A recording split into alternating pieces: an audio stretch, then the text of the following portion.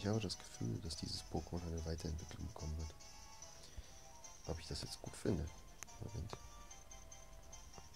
Ihr könnt es euch aber selber gucken. Ob ich das jetzt gut finde? Weiß ich auch nicht. Es ist eine fucking Sandburg.